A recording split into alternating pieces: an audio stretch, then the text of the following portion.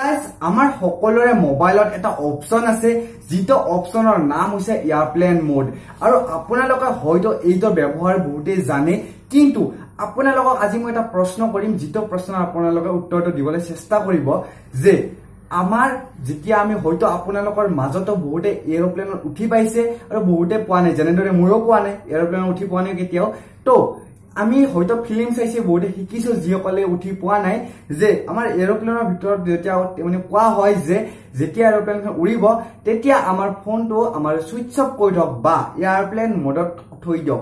কিয় বাৰু এনেকুৱাকৈ কয়? জানেনে আপোনালোকে? সকলোখিনি জনাবলৈ চেষ্টা কৰিম এই ভিডিঅ'টোত। বন্ধু বান্ধৱীসকল মই কিংকৰ চৌধুৰী আৰু আপোনালোকে চাই আছে কে চি টক। তো বন্ধু বান্ধৱীসকল ভিডিঅ'টো বলক আৰম্ভ কৰি দিয়ক না কি কয়? তো হৈছে যে এৰোপ্লেন মোড আমাৰ মোবাইলত দিয়া এটাই অৰ্থ আছে যে ই যাতে অলপ নেটৱৰ্কৰ লগত কমিউনিকেট কৰিব নোৱাৰে। অৰ্থাৎ আমাৰ মোবাইলটোত যেতিয়াই আমি এয়াৰপ্লেন মোড আমি অন কৰি দিওঁ তেতিয়া কি হয় আমাৰ মোবাইলটোত যিখিনি নেটৱৰ্ক আমাৰ টানি আছে যিকেইখন চিমি নেটৱৰ্ক টানি আছে সেইটো তেওঁলোকে প্ৰথমতে বন্ধ কৰি দিয়ে। লগতে যদি আপোনালোকৰ ৱাই ফাই কানেক্ট থাকে বা ব্লুটুথ কানেক্ট থাকে এনেকুৱা ধৰণৰ কানেক্টবোৰত তেওঁলোকৰ ৱাই ফাই আপোনালোকে যেতিয়া এয়াৰপ্লেন মোড অন কৰিব তেনেহ'লে এনেকুৱা ধৰণৰ বস্তু কিছুমানো আপোনালোকৰ বন্ধ হৈ যাব।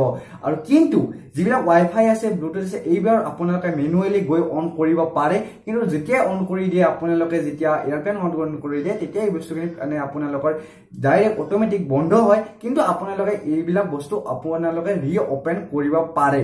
এতিয়া কথাটো হৈছে যে এৰোপ্লেনত বাৰু কিয় কোৱা হয় ফ্লাইট মোড অন কৰিবলৈ বা চুইচ অফ কৰিবলৈ? যে যেতিয়া আমাৰ আগতে মই কিছুমান ভিডিঅ'ত কৈছো যে আপোনালোকে যেতিয়া ট্ৰেভেল কৰি থাকে তেতিয়া আটাইতকৈ আপোনালোকৰ নেটৱৰ্কটো বেছিকৈ ইউজ হয়।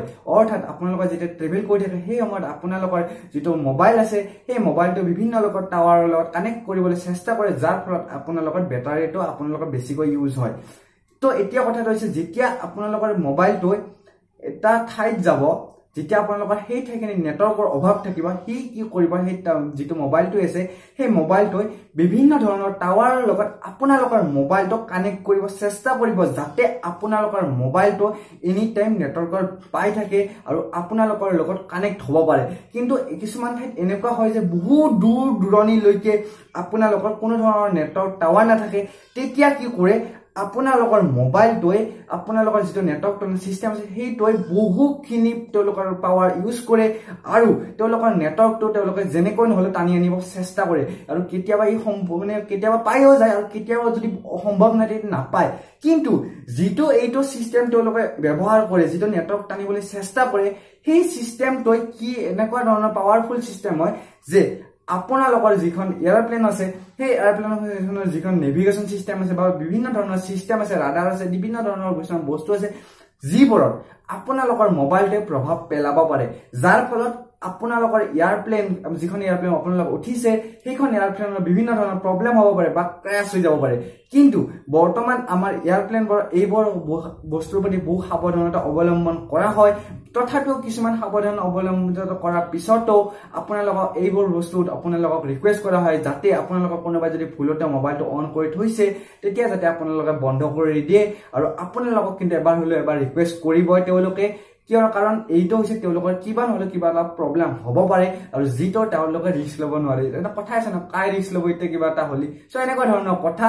তো কায়ো ৰিস্ক ল'ব নালাগে। সেনেকুৱা ধৰণৰ কথা মোক লাইট মডতে থাকক বা চুইচ অফে কৰি দিয়ক। আপোনালোকে যদি এনেকুৱা ধৰণৰ ঠাইত ট্ৰেভেল কৰে বা এয়াৰপ্লেনত আপোনালোকে ট্ৰেভেল কৰে। তো বন্ধু বান্ধৱীসকল হয়তো আপোনালোকে বুজি পালে যে এয়াৰপ্লেন মোডটো আপোনালোকৰ মোবাইলত কিয় অপশ্যনটো দিয়া হৈছে।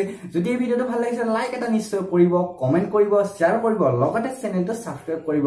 ধন্যবাদ বন্ধু বান্ধৱীসকল জয়াই অসম টাটা বাই বাই